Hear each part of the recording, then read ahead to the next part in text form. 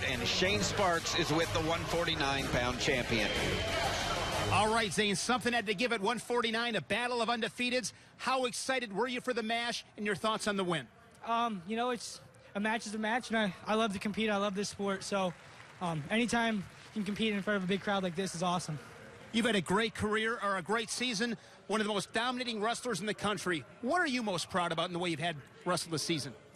Um, I just, I, I, mean, I think I'm most proud of my team and uh, my coaches and uh, just the way um, this team in particular has kind of approached competing. It's a lot of fun to compete with them, and it kind of rubs off on yourself. You know, it's it's a lot of fun for me to compete for you know guys that also like to compete hard. Congratulations. Thank you.